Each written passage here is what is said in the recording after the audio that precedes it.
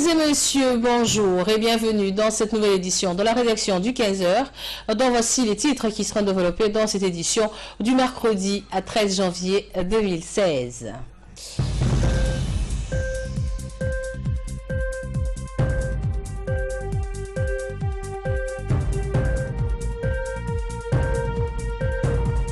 Turquie, par un attentat meurtrier hier euh, qui fait une dizaine de morts.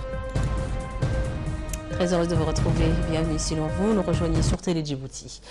Le président de la République, son Excellence Ismail Omar Guelleh, a adressé ce matin un message de condoléances à son homologue de Turquie, Recep Tayyip Erdogan, suite à l'attaque terroriste perpétrée hier à Istanbul et ayant causé la mort d'une dizaine de personnes. Dans son message, le président de la République a condamné un acte odieux et criminel et relayé la compassion et solidarité de la nation tout entière au peuple frère et ami de la Turquie dans l'épreuve difficile de cette attaque terroriste. Si la Turquie paye depuis quelque temps un lourd tribut euh, pour son engagement judicieux et légitime contre le terrorisme, je suis d'avis que ces attaques à répétition ne sauront dévier votre pays du précieux concours qu'il apporte au combat d'une des plus grandes problématiques du monde contemporain, a écrit le président Guelleh, réitérant ses condoléances les plus attristées à M. Tayyip Erdogan. Je vous l'annonçais dans les titres. Le Premier ministre Abdelkader Kamil Mohamed a reçu ce matin au salon d'honneur de la, primature le nouvel ambassadeur de France à Djibouti, euh, Christophe Guillou. L'entretien s'est déroulé en présence du directeur du cabinet de la primature, Youssef Aoulet, et le conseiller du Premier ministre, Hassan Mohamed Kamil. Prenant la parole en premier lieu, l'ambassadeur de France, Christophe Guillou, a adressé ses vifs remerciements aux autorités djiboutiennes et il a remercié le Premier ministre pour son accueil chaleureux. Il a indiqué qu'il était heureux d'être à Djibouti, surtout en cette période de la saison fraîche avec un climat doux et agréable. Le diplomate français a fait un tour d'horizon avec le Premier ministre sur la coopération bilatérale et les relations d'amitié euh, qui lient les deux pays depuis des longues dates. Il a souligné que la coopération militaire et, sécu et sécuritaire est au beau fixe entre les deux pays. Il a également émis le souhait de voir les relations bilatérales djibouto-françaises se consolider davantage dans tous les domaines à savoir le domaine du développement économique, culturel et commercial. Les deux hommes ont évoqué ensemble les questions de la géostratégie et des situations de l'ensemble des pays de la région limitrophe, victimes d'un nouveau genre de conflit perpétré par euh, des pseudo-djihadistes qui terrorisent les pays. En prenant la parole, le Premier ministre a félicité tout d'abord le diplomate français pour sa nouvelle affectation à Djibouti et il a évoqué la coopération multiforme existant entre les deux pays. Il a ensuite mis en exergue les liens historiques et culturels unissant Djibouti et la France. Il a, tout, il a ensuite souhaité le franchissement des paliers supplémentaires de cette coopération, notamment dans le domaine économique. Le Premier ministre djiboutien a enfin souhaité plein succès au nouveau diplomate dans sa nouvelle mission. Il a assuré du soutien du gouvernement djiboutien. De son côté, le président de l'Assemblée nationale, Mohamed Al-Humed, a également reçu euh, en visite de courtoisie le nouvel ambassadeur de France à Djibouti, Christophe Guillou. Ont assisté à cet entretien le vice-président du Parlement, Mohamed Saïd Balkhad, le président du groupe d'amitié franco-djiboutienne, Dileta Mohamed Dileta, la première conseillère de l'ambassade de France, Anne Suard et le conseil de coopération et d'action culturelle du le directeur de l'Institut français, Dominique Richard. Et enfin, le directeur du cabinet du président, Mahdi Waberi. La rencontre avec le diplomate français a permis de passer en revue euh, l'état des relations bilatérales. Les deux responsables ont souligné la nécessité de promouvoir la coopération au niveau de deux parlements. Les échanges ont également porté sur les relations entre les deux pays dans les différents domaines. Lors d'une brève réaction à l'issue de cette audience, l'ambassadeur Guillaume a indiqué avoir eu une bonne et intéressante conversation franche et cordiale avec le président du Parlement. Nous avons profité, a-t-il dit, de son expérience. Il a pris le temps euh, de nous décrire la situation euh, dans le pays et la façon dont la France pourrait mieux appuyer la République de Djibouti. Parlons d'environnement à présent. un atelier de vulgarisation et de concertation sur le réchauffement climatique qui a ses effets et conséquences sur Djibouti euh, s'est ouvert ce matin. Cet atelier permettra de discuter du plan national d'adaptation au changement climatique. Les discours de la représentante du PNUD, Mme Valérie Cliff, et le ministre de l'Habitat, de l'Urbanisme, de l'Environnement et de l'aménagement du territoire, Mohamed Moussa Ibrahim Balala, ont marqué l'ouverture de cet atelier. Ont été conviés à cet atelier les représentants des institutions publiques de l'Université de Djibouti, ceux du Centre météorologique et du CERD, le Centre d'études et de recherche de Djibouti. Les participants ont suivi un film documentaire sur les bonnes pratiques et solutions à adopter sur euh, les changements climatiques. Je vous propose d'écouter euh, la réaction, euh, le discours présenté à cet atelier par la représentante du PLU de Djibouti, Mme Valérie Cliff.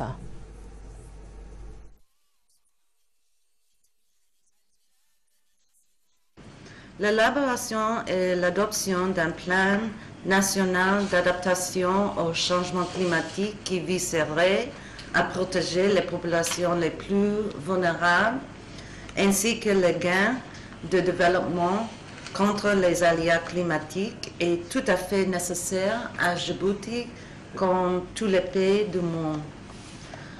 Pour arriver à ce résultat, il est essentiel de renforcer les capacités techniques des cadres de l'administration ainsi que la société civile afin d'avoir une masse critique de personnes. C'est l'objectif de cet atelier qui visera à donner aux cadres ciblés les outils nécessaires pour pouvoir élaborer le PNA. Étant donné les résultats positifs de la COP 21 à Paris, et l'avenir prometteur pour les questions de financement climatique, il est important de développer ce plan national d'adaptation vite. Ce plan sera partie intégrante de la stratégie nationale sur le changement climatique et en cohérence et synergie avec Djibouti Vision 2035 ainsi que le SCAP. Le ministre de l'Environnement a souligné que cet atelier permettra de se pencher sur le projet national d'adaptation au changement climatique et ouvre le débat entre participants sur les actions à entreprendre. Écoutons les propos du ministre Mohamed Moussa Ibrahim Balala. Permettez-moi de vous, rappeler que le PANA que vous allez euh, formuler consiste à la prise en compte d'une vision à long terme en matière d'adaptation au changement climatique les politiques du pays ainsi que dans les plans de développement des pays qui fait euh, à la vision pour ce qui concerne la République du Gouti. Il y a voilà huit mois, mon département a tenu des activités de renforcement des capacités et de sensibilisation sur le processus PANA. Le présent atelier se propose être la prolongation, le prolongation, prolongement de cette activité.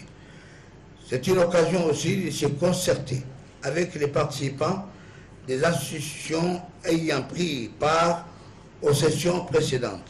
C'est une forme de consultation sur une problématique réelle qui est l'adaptation au changement climatique.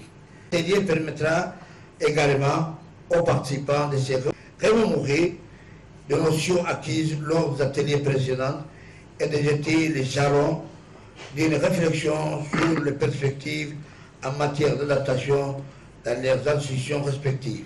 C'est aussi une façon de rappeler aux différents partis prenantes la place importante que doit occuper l'adaptation au changement climatique dans la formulation, préparation et élaboration de tout plan, programme de développement. Des rencontres régulières de ce type euh, se tiendront telles que prévues dans les, euh, dans les agendas de mon département, de garder euh, le dynamisme et de suivre l'évolution des préparations de ces programmes dans les différents départements. Je remercie Autre nouvelle du pays, le général de division, le général Zekele Ibrahim a procédé ce matin à la remise du certificat de premier degré à quelques 120 stagiaires formés pour incorporer les unités de l'artillerie nationale. Cette formation a donc duré trois mois et les 120 stagiaires ont acquis euh, les techniques d'utilisation ou de maniement des mortiers. Après la revue des troupes, le général de division Zekele Ibrahim, chef d'état-major général des armées, a salué les officiers supérieurs présents, dont le général Asman Nour chef de l'état-major de la défense, le général Tahir Mohamed Ali, sous-chef d'état-major de la défense, et le général de division Hassan Ali Kamel. Les stagiaires ont ensuite brièvement euh, démontré les savoir-faire acquis durant leur formation de trois mois, à savoir la mise en batterie et le maniement du mortier de 120 mm. Le général Zikri Ibrahim a procédé à la remise des récompenses au premier lauréat. Le chef du corps du régiment d'artillerie, le lieutenant-colonel Mohamed Hirsi, a, dans une allocution prononcée à cette occasion, remercié le général Zikri Ibrahim pour son soutien indéfectible pour ce corps d'armée. Il a en outre souligné que cette formation est allée à son terme malgré les impératifs occasionnés par la relève du bataillon Hill de Beledwin.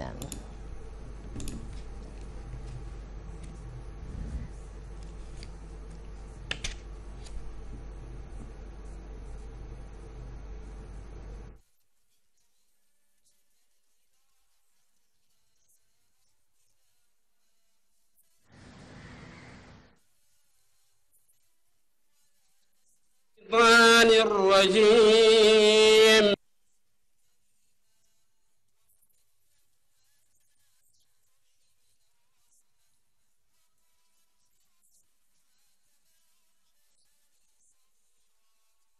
dans une allocution prononcée remercier le général Zikri Ibrahim pour son soutien indéfectible pour le secours euh, de l'armée nationale.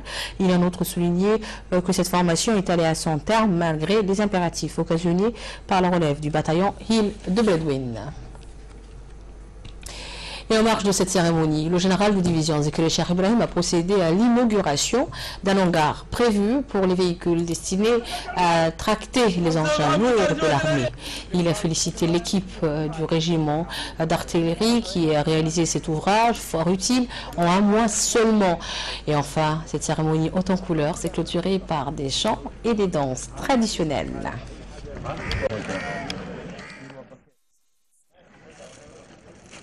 मान्य तकलीफ़ होती आणि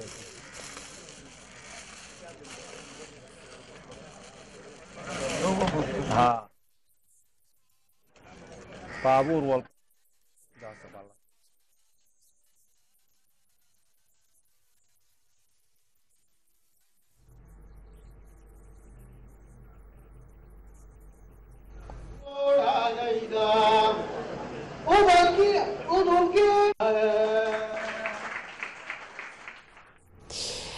Trois officiers de l'armée nationale ont été, distingués. Il s'agit du colonel Waïs Omar Bogoré, commandant des gardes-côtes, et le commissaire-colonel Mohamed El Moussa, chef d'état-major particulier de la présidence, qui se sont vus remettre hier la médaille du mérite de l'Union européenne pour, pour service rendu dans les domaines de la sécurité et de la défense. Cette distinction leur a été remise par le commandant de la force Atalante, le vice-amiral Stefano Barbieri. La cérémonie de remise des deux médailles s'est déroulée en présence de l'ambassadeur de l'Union européenne en République de Djibouti, M.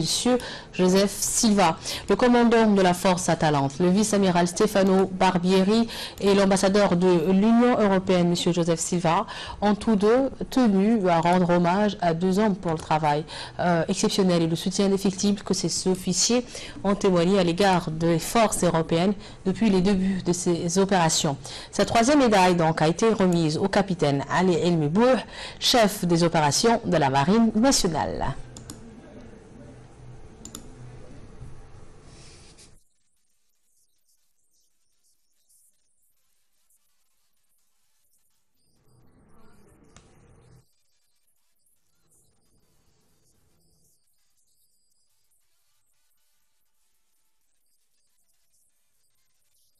Donc, rappelons que le colonel Ouaïs Omar Bakoré, des commandants des gardes-côtes, a été euh, médaillé, a, eu la, médaille du mérite de l'Union européenne pour service rendu dans le domaine de la sécurité et de la défense. Et ensuite, c'est le colonel Mohamed Ilbi Moussa, chef d'état-major particulier euh, de la présidence, qui s'est vu remettre également la médaille euh, du mérite pour service rendu euh, dans les domaines de la sécurité et de la défense. Et enfin, le, troisième officier euh, djiboutien distingué par, euh, par l'Union européenne à travers la force Atalante et Ali Elmibou, chef des opérations de la marine nationale. Passons à présent à l'actualité internationale en Turquie, notamment, comme je vous l'annonçais dans les titres, un attentat suicide perpétré près de la mosquée bleue a fait une dizaine de morts, dont huit touristes allemands et une quinzaine de blessés. L'attentat est attribué à l'organisation extrémiste dite de l'État islamique. Commentaire.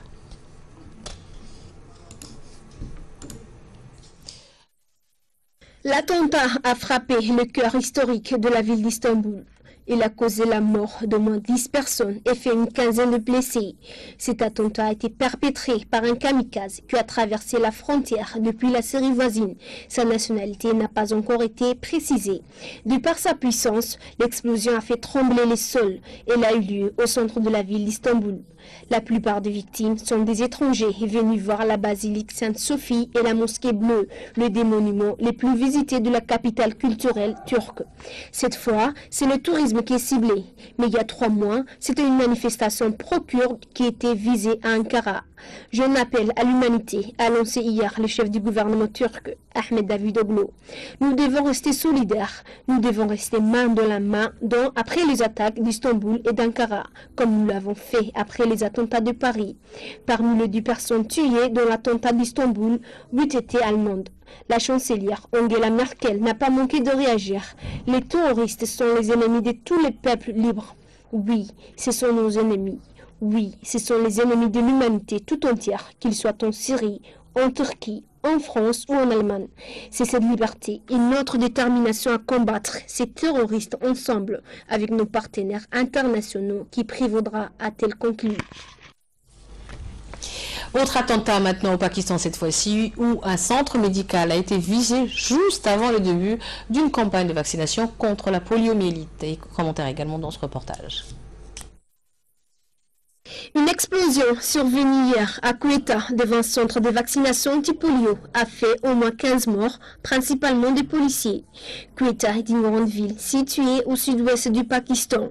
Les policiers étaient en train de se réunir devant les centres afin d'accompagner les vaccinateurs à l'occasion de la troisième journée d'une campagne de vaccination contre la polio quand est survenue l'explosion. Il y a 15 morts, dont 12 policiers, un membre de force du ministère de l'Intérieur et deux civils, a indiqué un officier de la police locale. On compte également 10 blessés, 9 policiers et un civil. Un médecin a confirmé les bilans. Le Pakistan et l'Afghanistan voisins sont les deux derniers pays au monde où la polio est toujours endémique et des dizaines d'enfants touchés restent paralysés chaque année. Les campagnes de vaccination sont régulièrement prises pour cible par des groupes extrémistes qui rejettent les vaccins en les présentant comme anti-islamiques et visent les forces de sécurité déployées dans le cadre de ces campagnes. Ce type d'attaque a coûté la vie à près de 80 personnes depuis 2012. C'était les commentaires d'Asma Mahmoud. C'est tout pour ce journal de la rédaction. Restez avec nous, bougez pas.